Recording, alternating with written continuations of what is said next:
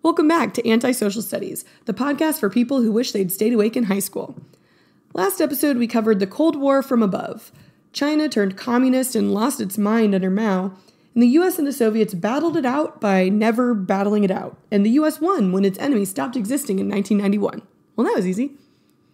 Today, let's look back through that same time period in Latin America. This is a region where the Cold War heavily influenced their politics and attempts at true independence. Latin America, remember, at the beginning was a collection of Spanish colonies that gained independence in the 1800s, only to be Monroe doctrined into the sphere of influence of the United States. And unfortunately, Latin America is going to try to assert true self control in the shadow of the Cold War. And they will learn very quickly that while it's easy to gain outside help from one of the two superpowers, it's also just as easy and inevitable that you will make yourself a quick and powerful enemy on the other side. Important note for true American patriots today's episode is not going to be quite as patriotic as the last one. I mean, Rocky can do a lot, but he can't fight the fact that the United States did a lot of bad things in the name of the war on communism in Latin America. You see what I did there? Fight the fact. Ah, oh, Rocky. Also, beware my bias. Full disclosure, I focused on Latin American studies in college, and you can't really go through those classes without gaining a hefty degree of sympathy for the Latin American people's perspective. Great job, UNC. You had one job to do convert me into a basketball fan. But instead, you radicalized me with your empathy and global perspective. what a giant waste of money. This is Antisocial Studies. I'm Emily Glankler. Settle in and let's go back in time.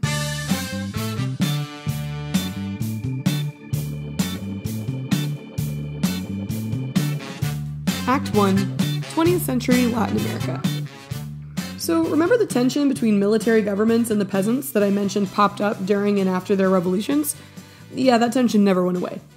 Remember that a lot of countries gained independence under the direction of military juntas that formed to rule on behalf of the true king while Napoleon was Napoleoning all over Europe. The revolutions became a strange mix between white Creoles in the military who wanted power and indigenous peasants who wanted freedom. In the 20th century, the same forces that led to the rise of extreme governments in Europe had a similar impact on Latin America. The Great Depression and the rise of leftist socialist groups prompted a lot of militaries around Latin America to take direct control of the government. A lot of these military dictatorships were attracted to fascism, or at least elements of fascism, as witnessed in Italy and Germany during World War II. This is why, after the war, so many Nazis fled to South America. They knew that they would find semi sympathetic governments who were also anxious to gain technology and scientific knowledge to help advance their economies and get out of the US's shadow. Over 9,000 Nazi officers and collaborators fled to South America in the years after World War II. Many went to Brazil and Chile, but over half went just to Argentina. Why?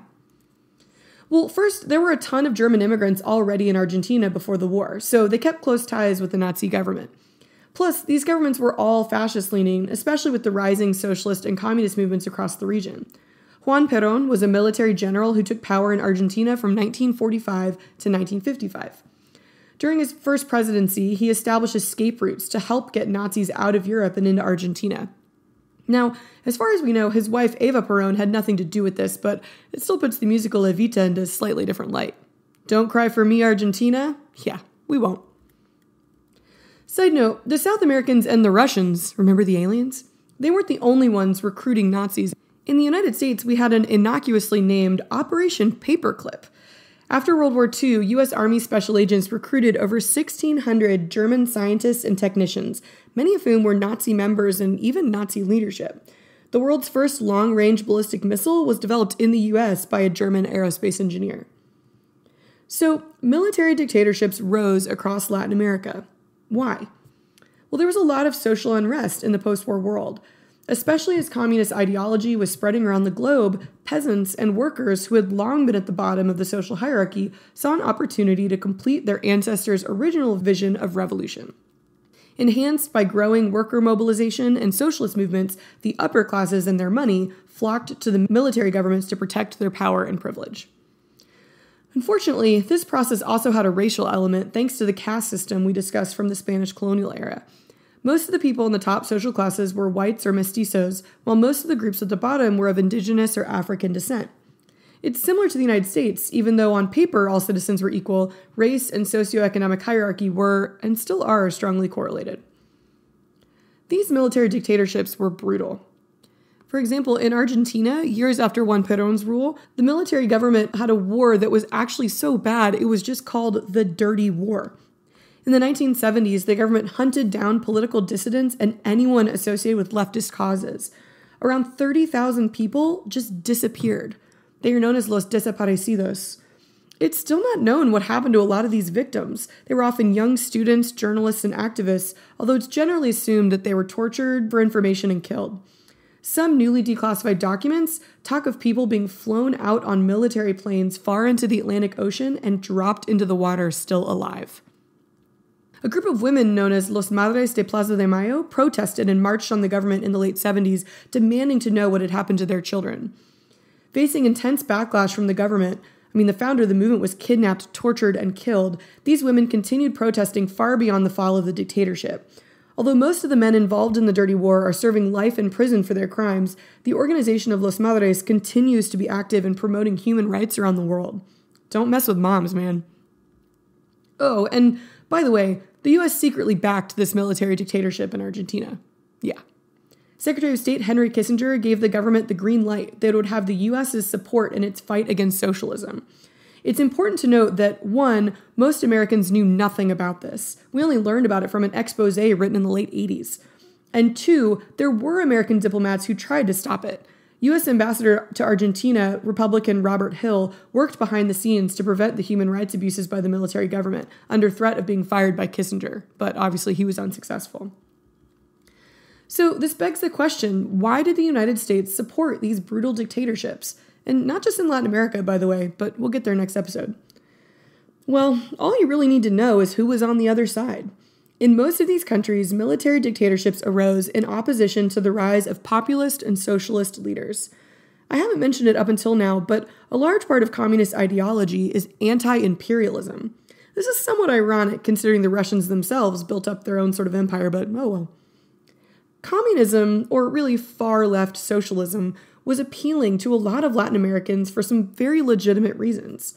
First, they have felt like they were under the thumb of some Western empire since 1492.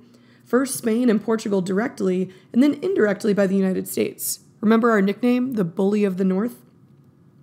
Second, the Latin American economy was set up very unfairly for most of the population. The modern agricultural economy, for example, was still based on the colonial encomienda system.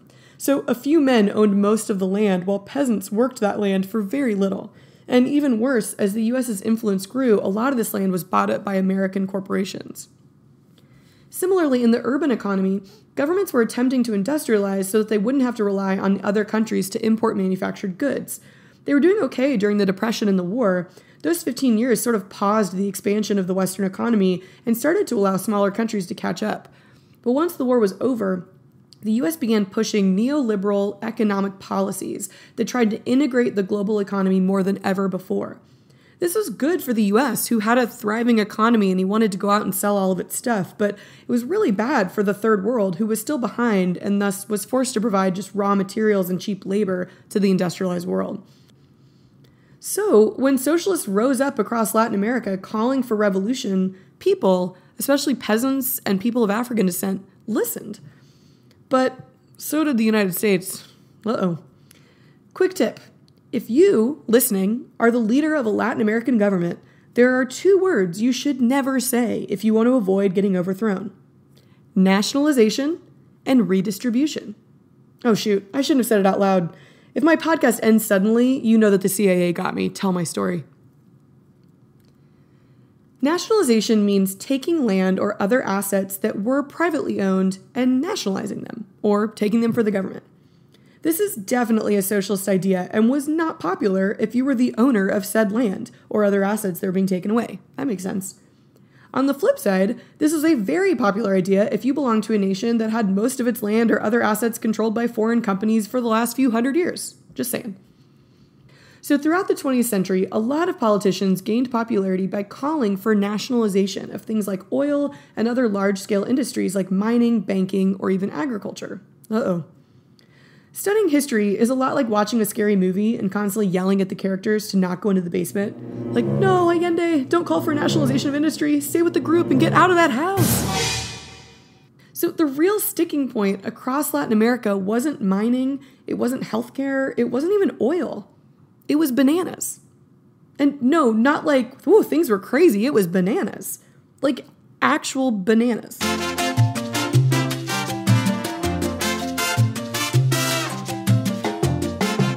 Major agricultural corporations like the United Fruit Company had gained an insane foothold into most of Central America. So much so that these countries just became known as banana republics. Yeah, the store was founded in 1978. Their first products were repurposed military apparel in the midst of a bunch of US backed coups and military dictatorships across Central America and these so called banana republics. I've always had a big issue with this, like the name of the store. It seems really offensive to me, but based on a quick internet search, most other people don't agree or just don't care as much as I do. Anyway, these foreign companies, especially the United Fruit Company, really were like the Mr. Burns type evil corporations as far as Latin America is concerned. Like, excellent the United Fruit Company lobbied the US government to get it to orchestrate coups or overthrows of democratically elected governments because leaders would push for nationalization of industry and redistribution of land. This meant that the government would take land from foreign companies and either control the land itself or redistribute it to peasants as smaller farms. Either way, this idea was not okay for those foreign corporations, and so they pushed the government to take action. And the United Fruit Company didn't go away. They just changed their name to Chiquita Banana today. Not to like totally ruin your grocery store experience, but sorry. Now, I do totally understand why a government taking privately owned land is unpopular, especially in the capitalist mecca of the United States. But again, historical context is important. From the view of a lot of Latin Americans, that land was obtained illegally in the first place. The conservative governments that rose up after the revolutions sold off that land, often for personal profit, to the highest bidder, and that was normally American companies. So, while this was seen as fair game by the foreigners, a lot of people in Latin America viewed nationalization and redistribution as just taking back what was stolen from them. Either way, nationalization and redistribution sound pretty socialisty, and socialism is just a gateway drug to communism. The US cannot have that in its hemisphere, so it's time to call up the CIA.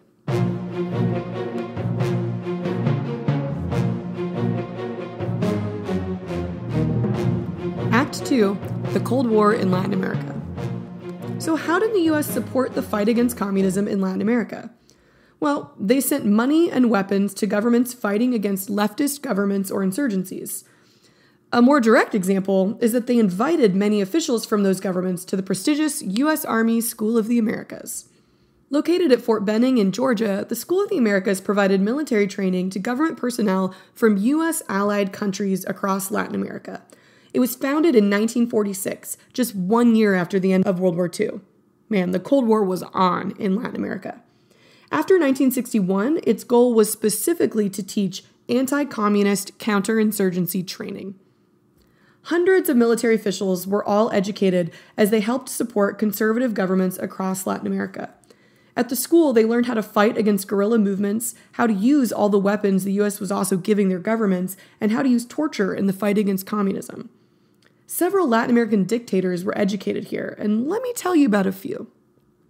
First, there's Colonel Domingo Monterrosa from El Salvador, he was responsible for the El Mozote massacre of 800 civilians during the Salvadoran Civil War in 1981. Other military officers from El Salvador were also responsible for the assassination of Archbishop Oscar Romero and other Jesuit priests who resisted the dictatorship. Or maybe there's Frank Romain from Haiti. He led a special operations unit organized by the Haitian dictator that assaulted and burned down a church in 1988 with dozens of people inside. More recently, Colombian Colonel Alberto Quijano attended the school. He was arrested in 2007 for providing security and mobilizing Colombian special forces in support of Don Diego, the leader of the Norte del Valle cartel and one of the FBI's 10 most wanted criminals. Whoops. Now, I'm not saying that these people were told to do these terrible things by the US military. I'm sure, and for the sake of my patriotism, I have to believe that they weren't. But I am saying that they were trained and supported by the US military in the name of the war on communism. Human rights activists have closely monitored the School of the Americas for years and its graduates, documenting crimes committed by officers who came through the school. And the school was eventually closed in 2000. Oh, but I mean, it reopened one month later, but they changed the name to the Western Hemisphere Institute for Security Cooperation. I guess they figured the longer the name, the more likely people would just give up and leave them alone, but not this girl. I see you, School of the Americas. So, how else did the US fight the Cold War in Latin America? Well, when a government would start to say the words you can't say if you don't want to get overthrown, the US would send in the CIA and we would have a good old fashioned coup. Sometimes these military overthrows were actually instigated by the US, but more often, the US just sent support to already existing conservative groups, often the military. And unfortunately, there are a lot of instances of this happening, but let's look at one example. In 1944, the Guatemalan people overthrew their authoritarian government and established a democracy. This new government introduced things like the minimum wage and universal suffrage, starting Guatemala on the path toward liberal democracy. In 1951, Jacobo Arbenz was elected president and he started calling for land reform. Oh no! Don't go in the basement, Arbenz, there are bananas down there! To be clear, he did not propose taking land that was already being used, but just taking uncultivated land and giving it to landless peasants. The owners of the land would be compensated, and in the end, the reform only affected like 1,700 out of 350,000 land holdings in the country. Arbenz passed reforms that outlawed abusive labor practices, which the United Fruit Company had been using for decades in the country. All of this combined to get Arbenz overthrown. Not by the people of Guatemala, they loved his reforms. But under President Eisenhower, the CIA implemented Operation PB Success. They funded, trained, and armed an army of Guatemalans to overthrow the democratically elected government.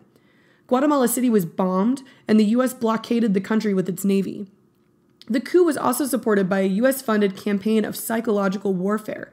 Radio stations broadcasted anti government propaganda and a false version of the coup, portraying it as a national revolution. The CIA sent death notices to communist leaders for 30 days in a row, they would paint messages on their houses like, you have five days left, and sent them coffins and nooses to intimidate them. After briefly attempting to arm civilians and resist, Arbenz resigned in 1954 and a dictatorship was instated. This new government banned opposition parties, imprisoned and tortured political opponents, and reversed all of the social reforms of the democracy. 40 years of civil war followed in Guatemala between leftists and the military, including a genocide of the Mayan population in the country, often called the Silent Holocaust. So, there's that. And just in case you were thinking, well, that's bad, but I mean, communism, right? No, Arbenz was not a communist, and the government found no evidence of Soviet influence in the country. And man, they looked for it. The international community condemned the coup and US involvement, which prompted another government operation called PB History. They scoured all of our Arbenz's communications for any evidence that could justify the coup, and they didn't find anything. What they did learn was that in the future, if they wanted to get involved, they would have to be more secretive. So, since we don't have time right now to go over every other example of the US helping take down a popularly chosen government, let me just list a few more. 1961, the U.S. backs Dominican dictator Rafael Trujillo. After his assassination, the U.S. sent 22,000 American troops to the Dominican Republic to help the military oust the new democratically elected president. 1964, Operation Brother Sam helped overthrow the president of Brazil and install a military government that would rule the country for the next 20 years. 1973, Kissinger brags that the U.S. created the conditions for the coup overthrowing democratically elected Salvador Allende in Chile. The U.S. publicly criticized the subsequent regime of dictator Augusto Pinochet while secretly sending support. During Pinochet's 16 years in power, 3,000 people were executed, 80,000 people were sent to internment camps, and tens of thousands were tortured by the government. 1975 the U.S. implements Operation Condor, a campaign of political repression and state sponsored terror across South America meant to eradicate communism from the continent. At least 60,000 people were killed, including union and peasant leaders, students and teachers, priests and nuns, and intellectuals and suspected leftists. The 1980s. The U.S. arms and supports the Contras in Nicaragua, a collection of right wing rebel groups fighting the socialist government. More on that one next episode. So, yeah. Remember when I said this episode wouldn't be quite as patriotic? Believe me, my intention is not to just hate on the United States, although I get that it seems that way right about now. But I just believe it's really irresponsible to only teach about the good stuff. If we look back and think of the Cold War as just a very scary, very tense philosophical debate, then that's irresponsible. I also think it's problematic to keep calling it the Cold War, because, yeah, the US and the Soviet Union never fought, but almost everywhere else in the world did. I also think it's important as Americans to learn this side of the story because Latin America is an incredibly important region for the United States. As allies in the hemisphere, potential trading partners, and the source of a lot of immigrants to our country. We have to learn their side of the story to understand just how much the decisions that we make in the United States, which may seem like a really good, logical idea on our side of the border, have enormous impacts and ripple effects to our neighbors in the South. So, after the Cold War ended, support for these military dictatorships went out of fashion. Slowly, they were dismantled, and new democracies have been growing in their place, but these democracies have a lot working against them. Mostly a long tradition of corruption, corporate interference, and the threat of being ousted if their decisions are unpopular.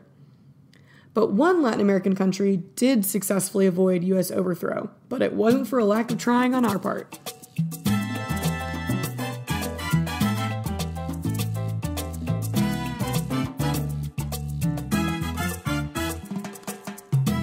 3 Viva la Revolucion in Cuba.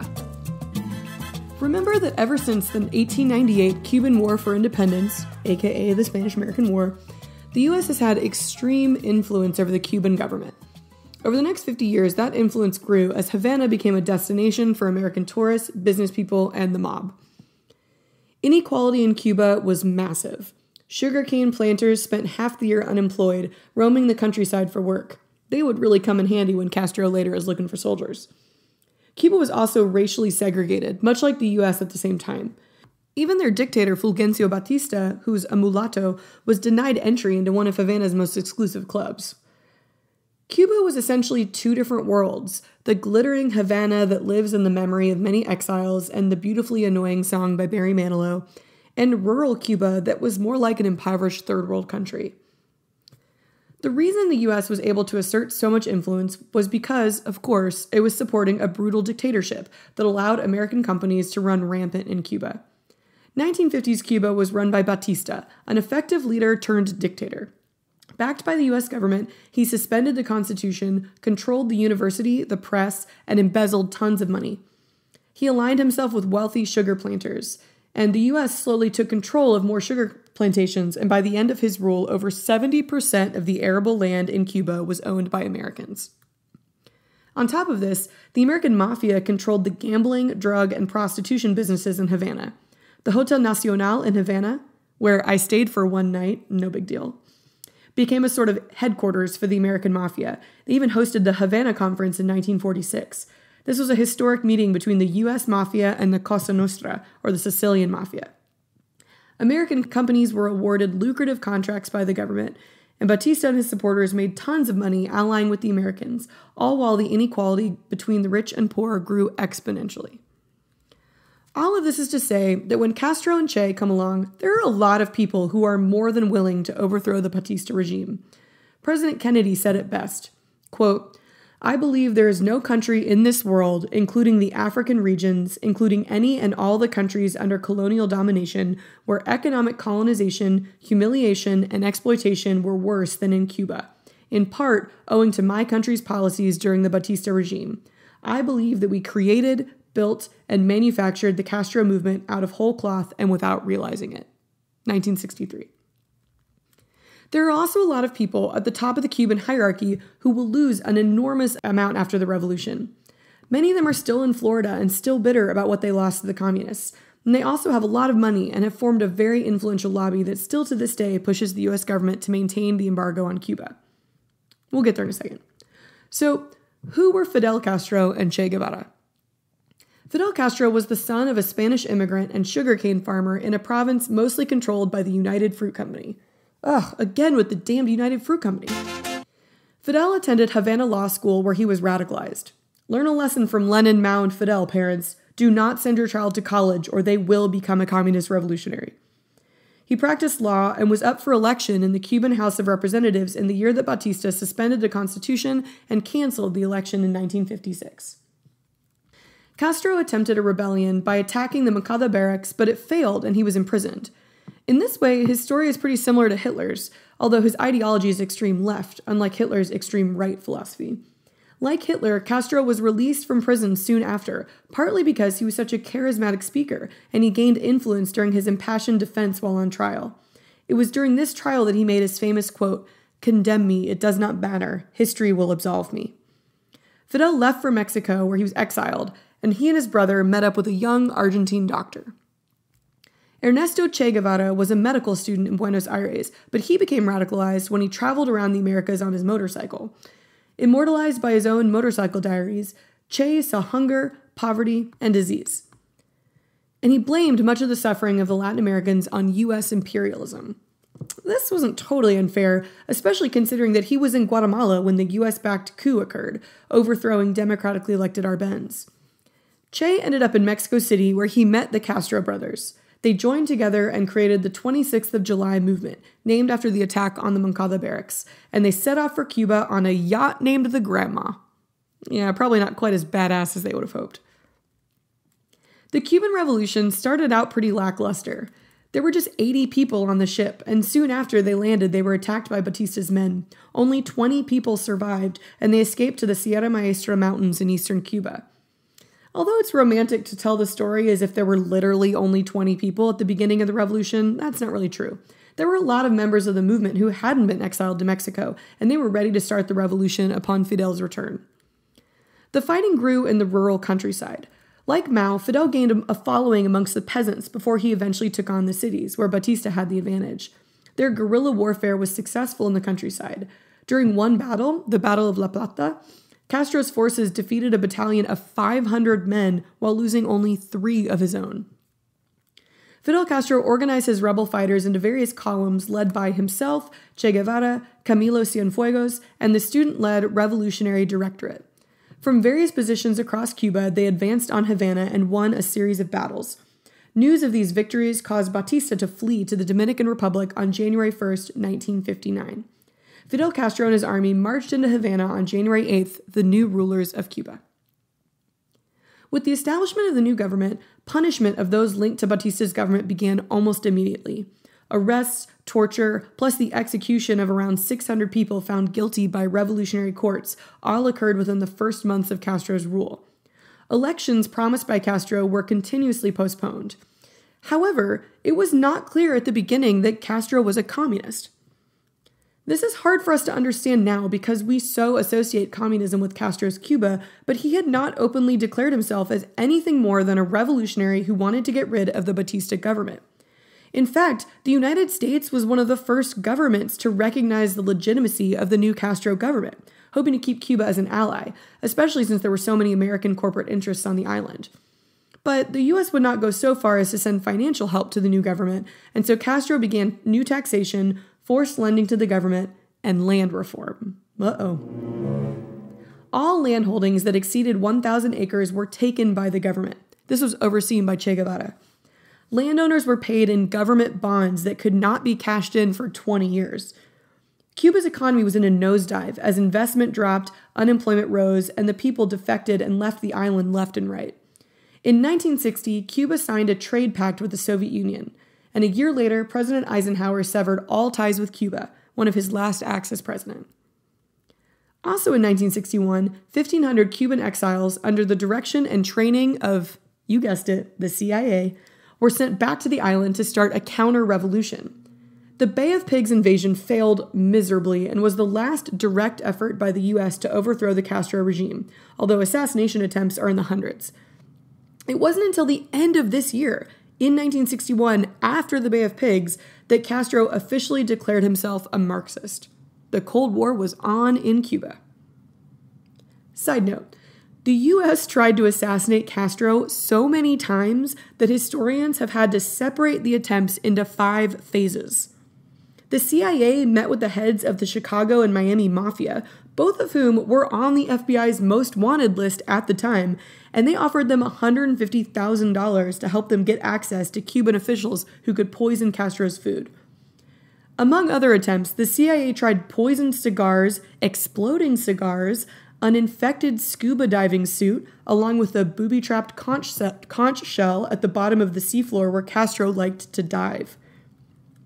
The CIA also tried to assassinate his character. They tried giving him thallium salts to destroy his famous beard. The CIA laced his radio studio with LSD to disorient him during his regular broadcasts and damage his credibility. As recently as 2000, the government placed 90 kilograms of explosives under a podium in Panama where he was scheduled to talk. All of these attempts failed. Castro once said, quote, If surviving assassination attempts were an Olympic event, I would win a gold medal. The height of the Cold War, of course, occurred on the island of Cuba in 1962. This was the closest the US and USSR ever came to actual nuclear conflict. So, after the failed Bay of Pigs invasion, the Soviets secretly agreed to start placing nuclear missiles into Cuba to protect them from future US intervention. President Kennedy knew that the Soviets were arming the Cubans with defensive weapons, and he was okay with this. But in October 1962, U 2 spy planes took photos of sites for ballistic nuclear missiles, proving that Khrushchev had lied to Kennedy about only arming them with defensive weapons. JFK assembled a collection of his military and diplomatic advisors who mostly pushed for a straight up bombing of Cuba. It's a really interesting conundrum if you'll remember that Kennedy, as a student at Harvard, had written a book all about Britain's appeasement of Hitler during the 1930s. Now he was faced with a similar issue either take a hardline stance and risk nuclear war, or appease and go too soft and let the Soviets gain an aggressive foothold just 90 miles from your coastline. Kennedy took a middle path he ordered a naval quarantine of Cuba. He specifically didn't use the term blockade because that is associated with the current state of war. But JFK also sent Khrushchev a letter saying that he would end the quarantine once the Soviets agreed to remove all offensive weapons from the island. And he also did what JFK does best, and he went on TV to announce all of this to the public, stating that any attack with missiles from Cuba anywhere in the Western Hemisphere would be regarded by the US as a Soviet attack on the United States, requiring a full retaliatory response. Man, bringing out that old Monroe doctrine, brushing it off, and giving it a new nuclear sheen. Khrushchev responded that the quarantine was an act of war by the United States, and he ordered Soviet ships to break through the US Navy and continue supplying Cuba with weapons. For 13 days, the US military was placed on DEFCON 2, the second highest level of military alert. Behind the scenes, Kennedy and Khrushchev were negotiating and trying to hammer out a deal. The Soviets did agree to remove the weapons from Cuba if the US promised a few things in return. So, Khrushchev first sent a communication to JFK that said they would remove the missiles if the US agreed to never again invade the island of Cuba. But then later on, they sent another letter that sounded really different in tone that added that the US also had to remove its missiles from Turkey that were stationed near and pointing at the Soviet Union. The same day that the Soviets sent these two kind of confusingly different letters of demands, an American U 2 reconnaissance plane was shot down over Cuba. While Kennedy prepared for war, he also searched for any diplomatic resolution. Kennedy chose something interesting, and he decided to just ignore the second letter and respond as if he had only read the first. He sent back a communication agreeing to not invade the island if the Soviets would dismantle the weapons under the supervision of the United Nations. But JFK also sent his brother, Attorney General Bobby Kennedy, to secretly talk with the Soviet ambassador. Bobby Kennedy told the ambassador something that had to remain top secret. The missiles in Turkey were growing outdated, and they'd already planned on removing them in the next six months. Basically, he was agreeing to the second demand, but in private. So the US would dismantle those weapons, but later on, so that it wouldn't be associated with the Cuban Missile Crisis and make Kennedy look like he had given up too much in the eyes of the American public. Sneaky, sneaky. Before we move on, I would like to introduce you to a man named Vasily Alexandrovich Arkhipov. He was a Russian submarine officer, and he is probably the most important person of the 20th century that you've never heard of. At the height of the Cuban Missile Crisis, there was a Soviet submarine hiding out in the Caribbean, past the quarantine line. The US knew it was there and began dropping depth charges, exploding all around the sub. What the US didn't know was that that submarine was armed with a tactical nuclear torpedo that would explode with the power of the bomb dropped on Hiroshima and the captain had been empowered by the Soviets to launch it at will. Uh oh. Without communication with Moscow for days, the AC is broken and temperatures are climbing above 100 degrees. The sub can't surface without exposing themselves, and there are 11 American ships all within firing range. Hearing the explosions of the depth charges around them, the captain shouts, Maybe the war has already started up there. We're going to blast them now. We will die, but we will sink them all. We will not become the shame of the fleet. It's like a real life Doctor Strangelove, and it's terrifying. So, a key point the men on the sub had no idea what was happening above the water. They just knew that they had been told to go straight to Cuba, but then they'd been ordered to sit and wait in the Caribbean. After that, they had had no more communication until explosions began rocking their sub.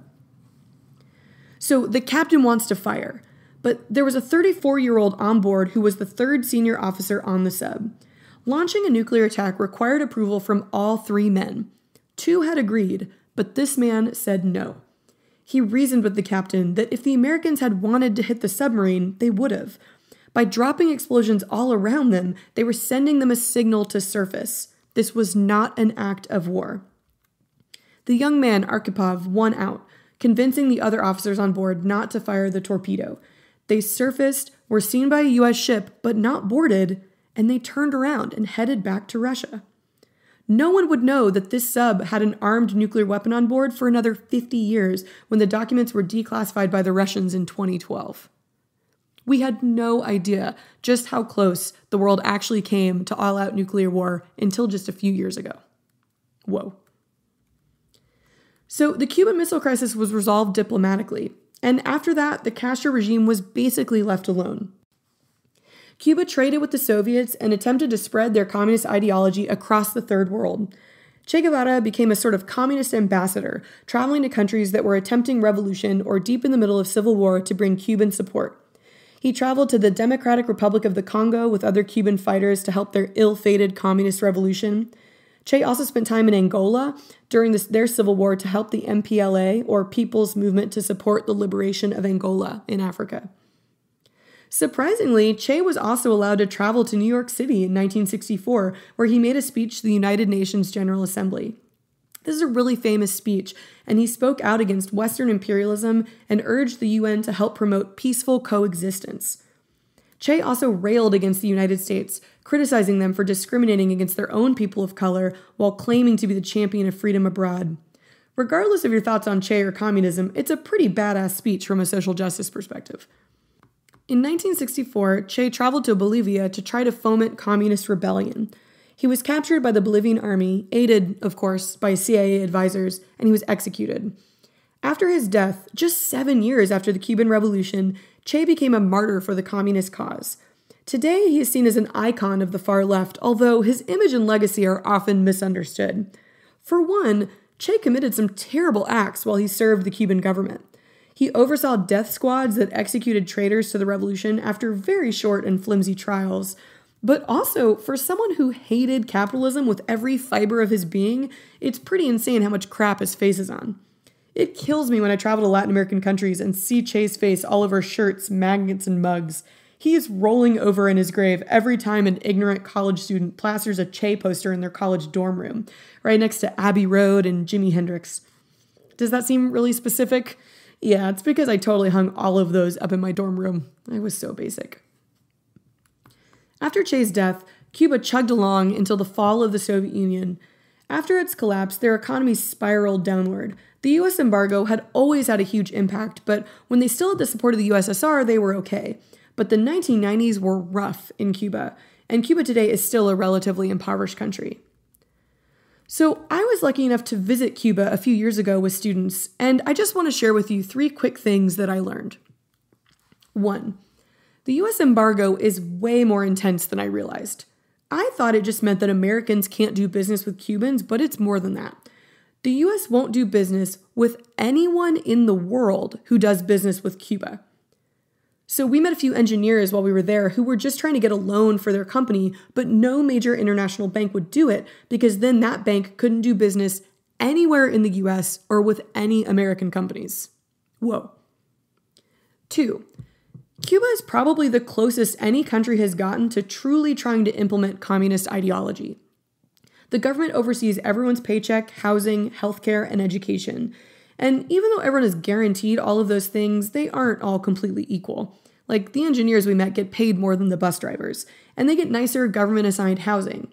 So everyone has a place to live, but some of those places are really rough.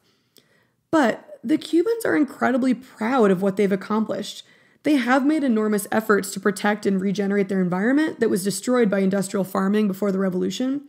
Our tour guide marveled at the fact that her son would go to the same school and have the same educational opportunities as sons of the elites. They offer free college tuition to any student in the country who qualifies through their intense exam system. So, truly, anyone can become a doctor or engineer if they are the most intelligent and the hardest working. And they do have universal health healthcare system that works pretty damn well. When Venezuela's Hugo Chavez was diagnosed with cancer, he traveled to Cuba for his treatment.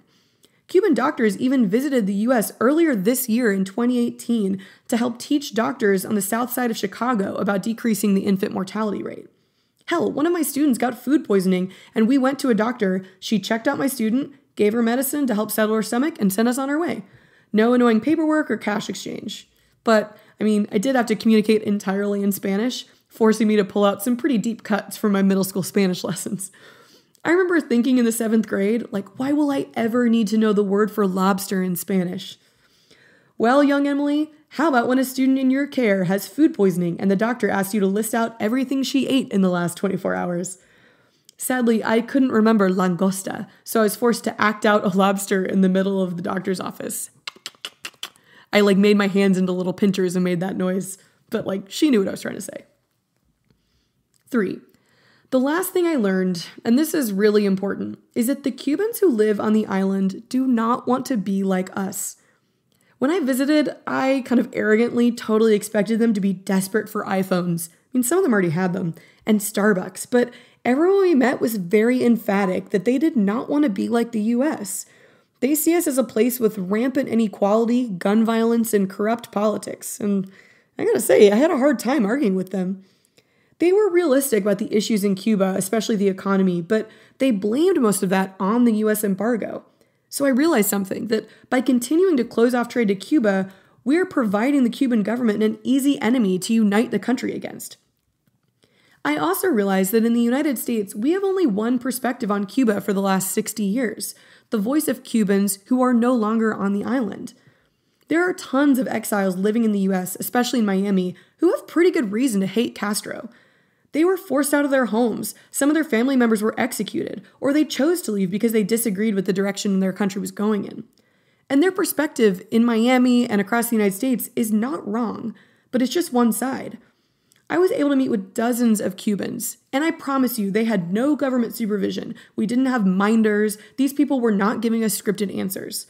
And they showed me another side of the story that is also correct. I realize that the United States has its own value system upon which we judge success. For Americans, success is based on wealth, privilege, and career advancement. But in Cuba, they're just working off of a different value system. To them, on the island, success is based in community, equality, and long term investment in the environment and the education and health of your citizens. And from their perspective, the US is the country that's failing. Anyway, I'm sure that that rant and this entire episode honestly has gotten me on a government list somewhere and probably lost me a few listeners who don't like to hear that the US isn't always the good guy in history. Sorry, not sorry. But like I said before, it's important to learn as many different perspectives as possible and to understand that our policies have an enormous impact on the entire world.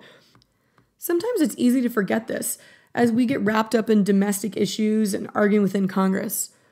For example, when I traveled to Cuba in the summer before the 2016 election, I can tell you they were following the campaign more closely than most Americans I knew. Their entire lives hinged upon November 2016. They knew that if Clinton was elected, she would continue the relaxation of the embargo that was starting to allow them to grow their business and live their lives. And when Trump was elected instead, the Cubans I met were some of the first people that I thought of. And in case you ever travel to Latin America, it's also important to understand that we aren't very popular in a lot of those countries, and as hopefully you've learned, for a fairly good reason. Once when I was in Peru, our rafting guide asked where I was from, and I said, Soy Americana. Ooh, boy, he did not like that. You are estadounidense. We are all Americans. They're pretty tired of the bully from the north, and I don't blame them.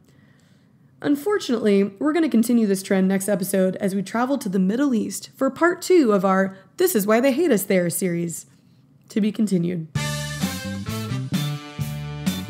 For a full transcript of today's episode, visit www.antisocialstudies.org. Join me next time on Antisocial Studies as we explore the Cold War in Asia, or who knew religion was so important to people. And don't forget that if you like what I'm doing, please subscribe to my podcast so you'll know when the next episodes are up. And if you really like what I'm doing, then go to iTunes or wherever you get your podcasts and give me a review. Thanks.